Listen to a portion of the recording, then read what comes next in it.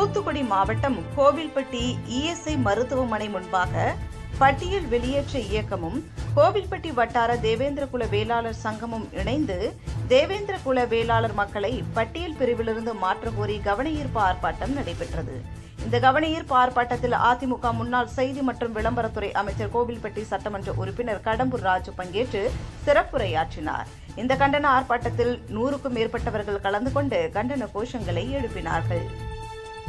ஆண்டான் இல்லை அடிமை இல்லை என்று தான் நடித்த படங்களின் மூலமாக மக்களிடையே ஜாதி பேதமற்ற சமத்த சமுதாயத்தை உருவாக்கிய பொன்மனச் செம்மல் புரட்சி தலைவருடைய சிலையின் எதிரில் மிக பொருத்தமாக இந்த ஆர்ப்பாட்டம் இன்றைக்கு இடம்பெற்றிருக்கின்றது.